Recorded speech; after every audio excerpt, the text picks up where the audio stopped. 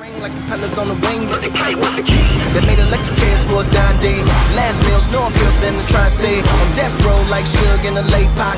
Maybe he could dig a tunnel while the A block and wear gloves for the razor wire gate tops. Scared thugs going crazy in the cage box.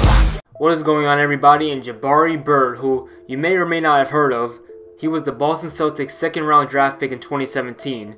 Bird is accused of choking his girlfriend multiple times, kicked her, and prevented her from leaving his apartment as well. It's a crazy story, and on top of that, Bird collapsed in distress and has now spent several days in the hospital. Bird, who is only 24, was held on $50,000 bail after not guilty pleas to domestic violence related charges were entered on his behalf. Obviously, the Celtics are standing behind the victim and her family, and Bird is taking a step away from basketball right now to confront medical and legal issues.